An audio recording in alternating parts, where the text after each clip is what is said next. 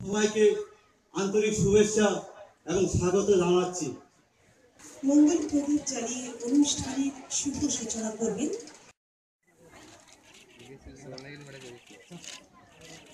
প্রদীপ প্রজ্বলনের মধ্য দিয়ে আমরা আজকের এই অনুষ্ঠান সূচনা করতে যাচ্ছি। সবাই ধরে হাততালি দিয়ে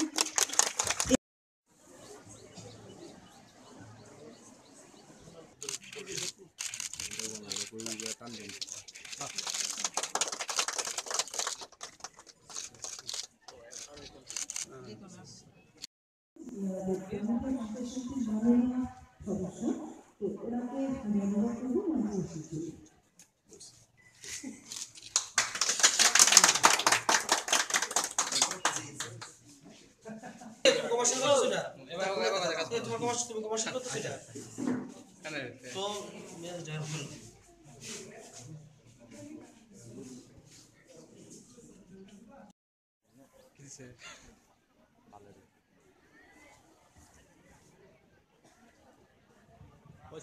বলো। অ্যাকচুয়ালি আপনারা জানেন ত্রিপুরা রাজ্যে বিগত অনেক বছর ধরে বিভিন্ন বা বিভিন্ন জায়গাতে মহিলারা নির্যাতিত নির্যাতিত হচ্ছে।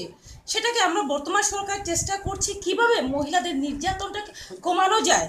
তো অনেক সময় দেখা যায় মহিলারা বিভিন্নভাবে নির্যাতিত হয়ে তারা কোথায় যাবে কি করবে সেটা অনেকেই দিশা পায় না। তার জন্য ওয়ান ওয়ান স্টপ সেন্টার আমরা বিগত দিনে টু থাউজেন্ড সেভেন্টিনে হয়েছিল কিন্তু অস্থায়ীভাবে কোনো জায়গা ছিল না।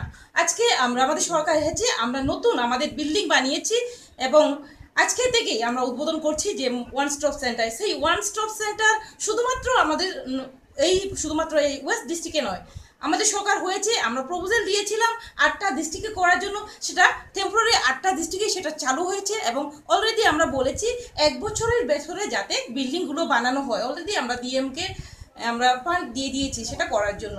কেননা আমাদের ত্রিপুরা রাজ্যে মহিলারা যদি এগিয়ে না যায়, যদি তাদের ডেভেলপমেন্ট না গতে তারা যদি সঠিক বিচার না পায় তাহলে কিন্তু অনেকটা ক্ষেত্রে বাধা হয়ে যাবে উন্নয়নের ক্ষেত্রে।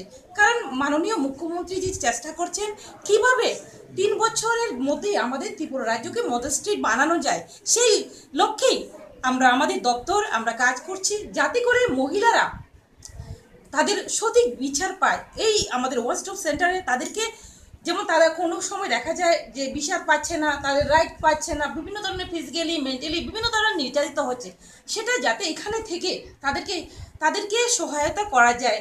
যেমন কাউন্সিলিংয়ের মাধ্যমে বিভিন্ন ধরনের আমরা, যেমন আমাদের স্কিল ডেভেলপমেন্টের তাদেরকে করানো, এই ধরনের বিভিন্ন ধরনের আমরা প্রসেসটা চালিয়ে যাচ্ছি। কীভাবে মহিলাদের, যে তাদের বিভিন্ন ধরনের প্রবলেম ফেস করছে, সেগুলো কীভাবে সলিউশন করা যায় সেটাই লক্ষ্য এটাই আজকের যে সেন্টার উদ্বোধন, সেটাই মেন উদ্দেশ্য। এবং কি আমরা ইদানিং কিছুদিনের মধ্যেই আমরা আরেকটু একটা আমরা হেল্পলাইন আমাদের একটা phone number one nine one eight one একটা নাম্বার কিছুদিনের মধ্যে চালু হবে, চব্বিশ ঘন্টায় থাকবে, যাতে করে মহিলাদের সমস্যা সেখানে তারা জানাতে পারে সেটা।